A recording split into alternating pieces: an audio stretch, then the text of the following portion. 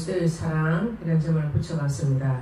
오늘은 인간과의 평화를 어떻게 하나님께서 주셨는가 주 예수 그리스도를 믿음으로 말미암아 평화를 얻은 얻었다고 하는 우리들은 정말 오직 예수 그리스도를 통하여서 은혜를 받았고 구원을 받은 우리들이 정말 어떻게 하나님의 은혜를 갚을 길이 있으며 어떤 방법으로 주님이 우리 삶을 살아가기를 원하시는가에 대해서 말씀을 드리겠습니다. 모든 인간은 하나님 보실 때 우리가 다 죄인이라는 것입니다. 그걸 그 죄인인 우리가 주님의 사랑을 받고 또 하나님을 믿는데 예수 그리스도를 알지 못하면 믿음이 없이는 자기 죄를 알지도 못하고 듣지도 못하고 느끼지도 못하고 또 자기의 죄가 뭔지를 알 수가 없기 때문에 그저 사니까 살고 밥 먹고 이렇게 살아가게 된다는 겁니다. 그래서 우리가 하나님의 말씀으로 소망을 이루고 우리가 살아가야 되는데 우리가 화목제물이신 예수 그리스도로 말미암아 우리가 지금 평화와 화평을 누르고 있음에 우리가 늘 감사해야 된다는 겁니다. 우리가 하늘에 소망을 두고 살아가야 되는데 우리가 정말 하나님 앞에 말씀과 믿음으로 우리가 살아갈 때에 정말 우리 성부 하나님 자기를 또 비우고 또 희생했습니다. 또 하나님 아버지도 우리와 화목하기를 원하십니다. 그래서 또 성자 예수 그리스도를 십자가에 죽게 하심으로 우리의 진짜 십자가의 사랑을 보여주셨다는 겁니다. 우리는 성자 예수님 하나님과의 인간을 화목하기를 원하시고 지금도 계십니다.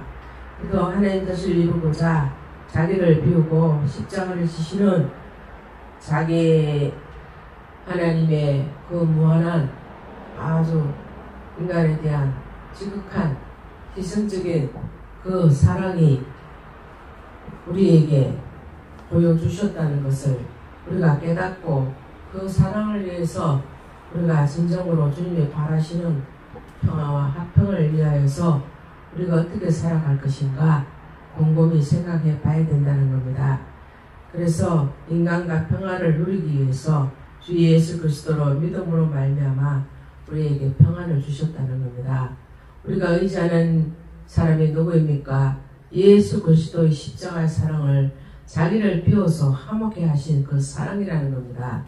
우리가 그 사랑이 없이는 우리 주님의 진정한 희생적인 십자가의 사랑을 체험하지 않고 느껴보지 못한 사람들은 도무지 알 수도 없고 또 하나님 아버지 예수 그리스도의 진정한 사랑을 느껴보지 못하기 때문에 진짜 우리가 어떠한 사랑을 받고 있는지 알 수가 없다는 겁니다. 그래서 우리는 그리스도로 말미암아 또 믿음으로 은혜의 자리까지 왔습니다. 모든 사람이 죄를 범하여서 하나님의 영광을 이루지 못한다고 했습니다. 그런데 믿는 자들은 어렵다 하심을 받아서 하나님 앞에 영광에 이르게 됩니다. 우리가 소망으로 그날을 바라본다면 우리는 즐거워할 수가 있습니다. 왜냐? 오늘은 우리가 하나님 주시는 축복을 우리가 지금 누리고 있습니다. 참된 평화를 누리고 있고 죄에 묶여져 있어서 하나님 앞에 용서를 받아서 또 우리가 하나님을 믿고 또 주님을 향하여서 정말 기도도 하고 주님이 향하여서 진정한 주님의 십자가 사랑을 체험하게 된다는 겁니다. 그래서 우리가 예수 그리스도를 믿고 나면 우리는 하나님의 피로 사신 하나님 말씀과 믿음으로 우리가 화목해질 수밖에 없습니다. 근데 세상 사람들 믿지 않은 사람들은 화목제물이신 예수 그리스도를 알지 못하고 또 할로운 데 이런 데에 집착하게 되고 거기에 인파들이 모여들다 보면 어떠한 희생을 감수할 수 있는지 알 수가 없습니다. 그래서 그 사람의 앞날을 한치도 어, 한 시간이 아니라 단 몇 분 후에 일어날 일을 우리들은 예측할 수가 없습니다. 그리고 또 그렇게 많은 인파들이 와서 그렇게 막다른 골목에서 처참하게 죽게 된다는 것 자체도 생각해 본 적이 없을 거란 없을 것입니다. 왜냐하면 그냥 축제다. 어, 사람의 스트레스를 풀기 위해서 아주 편안한 마음으로 또, 또 여자분 같은 사람들은 많이 예쁘게 꾸미고 이렇게 나왔을 거라는 겁니다. 우리가 잠깐 잠시 앞날도 알지 못하는 우리들이 믿을 존재는 사람, 사람을 믿을 수가 없습니다. 우리를 믿을 수 있는 것은 오직 예수 그리스도 하나님 말씀밖에 없다는 겁니다. 그래서 마지막이 될 때는 사람들이 축제들이 비일비재하게 많이 일어납니다. 누가 총칼을 갖다 대서 죽는 것이 아니라 사람으로 인해서 사람들끼리 서로 너무 많은 인파가 오면 자기네 자신들도 자기 몸이라도 마음대로 움직일 수 없는 지경까지 이럴 때는 이미 사람의 한계를 넘었었기 때문에 힘드는 일들이 벌어질 수밖에 없습니다. 그래서 우리가 정말 이 세상 살아갈 때도 우리가 어려운 걸 피한다고 해서 피해지는 것이 아니고 그런 일을 안 당하고 싶다고 해서 안 당하는 것이 아닙니다. 그렇지만 될 수 있으면 사람 인파가 너무 많은 곳에 너무 몰려 다녀서는 안 된다는 겁니다. 그래서 우리가 믿는 자들은 정말 하나님을 기쁘시게 하기 위해서 세상 축제에는 돌아다니지 않습니다.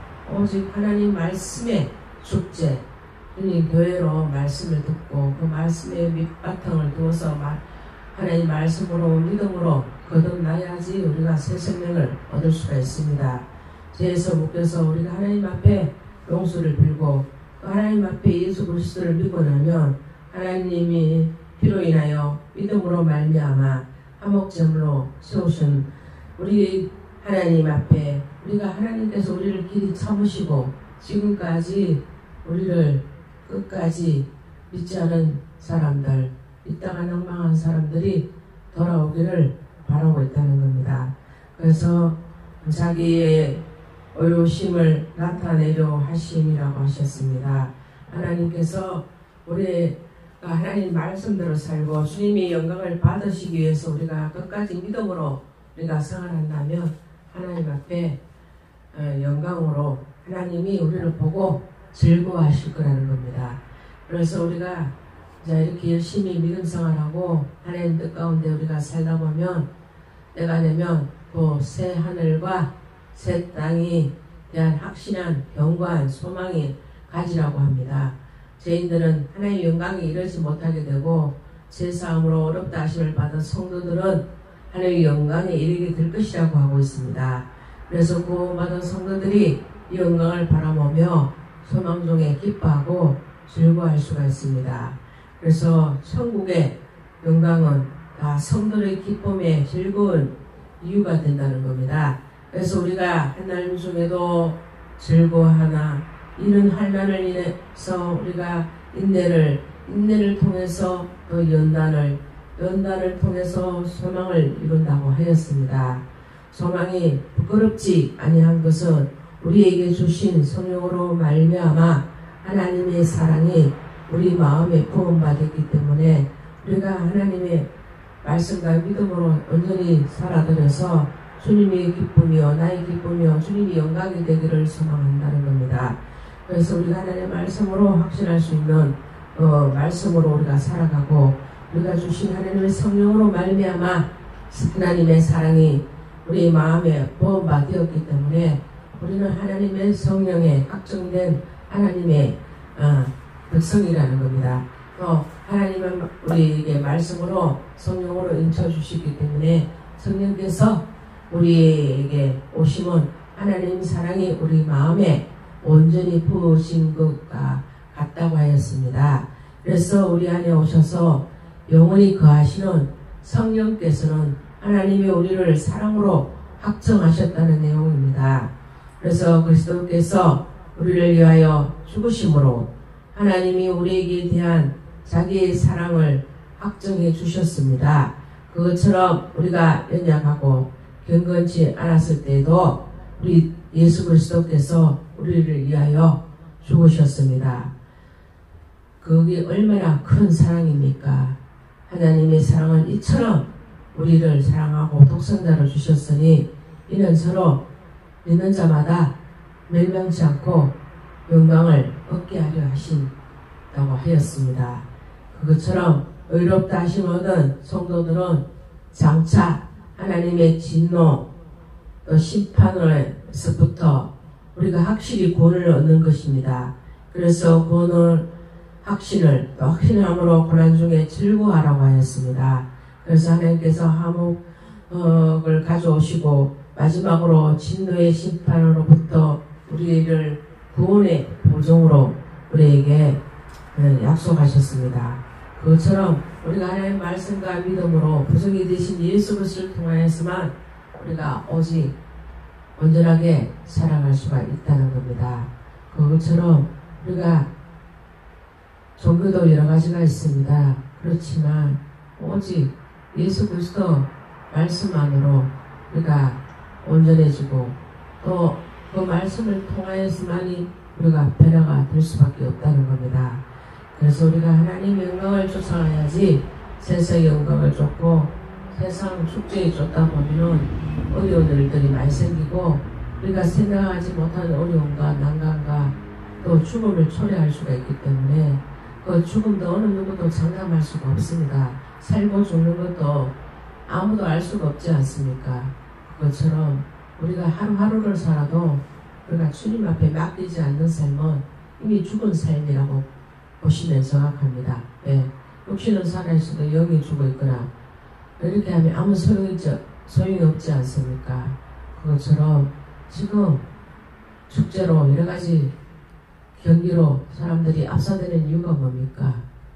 전부 다 개인적이고 전부 다 자기만 살려고 그러고 자기만 앞서 나가려고 그러고 조금이라도 남을 배려하는 것이 없기 때문에 이 아수라장이 되고 힘든 상태가 되고 그때는 이미 죽은 사람들은 정말 아무, 아무 말도 못하고 정말 죽음의 기로에서도 정말 살 길이 막막하고 살, 살려달라 해도 살려줄 수 없는 그런 상황까지 왔을 때 보면 너무나 심각한 것을 볼 수가 있습니다. 우리가 하려는데 이런 축제에 사망자만 두고 논하는 것이 아니라 우리가 하루하루 어떻게 하나님 앞에 온전하게 살아갈 수 있는가 또 믿는, 믿는 믿음의 사람들이 먼저 또 정신을 차리고 기도를 하고 중보를 하고 또 이렇게 힘든 상태에서 그 죽는 자들이 발생하지 않도록 또 경각심을 가지고 서로를 배려하고 또 먼저 남을 배려할 수 있는 그러한 사람들이 되어서 또 이 마지막 날 우리가 사랑으로 모든 허다한 죄를 덮는다고 하였습니다. 그것처럼 우리가 모든 허다한 죄를 사랑으로 덮고 또 이 세상 우리가 언제 마지막에 될지 알 수가 없습니다. 우리 하루하루 삶을 반성하고 돌이키고 새롭게 하나님 말씀과 믿음으로 성년은 여러분이 다 되시기를 소망합니다.